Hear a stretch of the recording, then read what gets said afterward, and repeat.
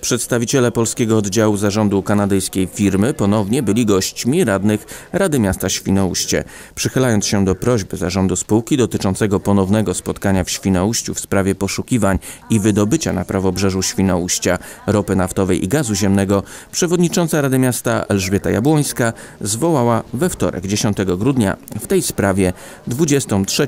nadzwyczajną sesję Rady Miasta.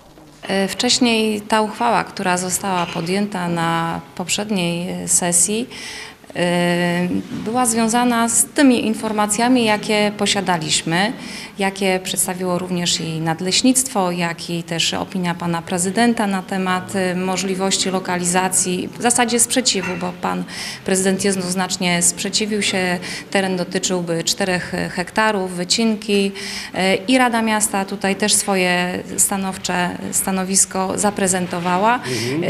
Z- Przedstawiciele wówczas, którzy byli obecni firmy CEP na sesji Rady Miasta, e, prosili, że chcą większą ilość informacji przekazać, a przede wszystkim chcą w niej też uczestniczyć członkowie zarządu.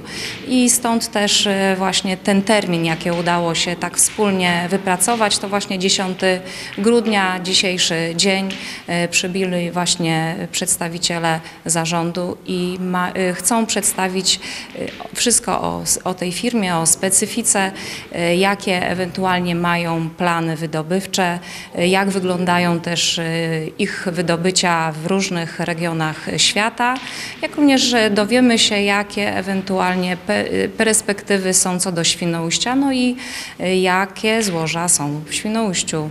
Ja rozumiem, że dzisiaj decyzja Rada nie podejmie. Będzie to tylko wysłuchanie, spotkanie z przedstawicielami zarządu firmy e, CEP.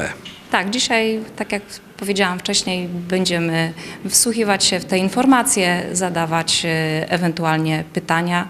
E, Radni też szereg pytań postawili wcześniej na poprzedniej e, sesji Rady Miasta, która była właśnie z tym tematem związana i dzisiaj też mamy otrzymać te odpowiedzi, bo wówczas nie w pełni też otrzymaliśmy te informacje. Pani Przewodnicząca, liczy Pani, że na kolejnych sesjach może zdanie Rady Miasta Świnoujście w sprawie właśnie wydobycia gazu i ropy naftowej na prawobrzeżu ulec zmianie?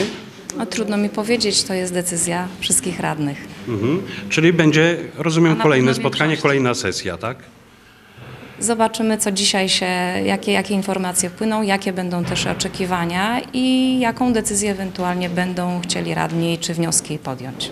Spotkanie z przedstawicielami zarządu trwało ponad dwie godziny. Firma nie rezygnuje ze swojego pomysłu poszukiwań gazu i ropy, dlatego też prawdopodobnie po nowym roku dojdzie do dalszych roboczych spotkań w tym temacie.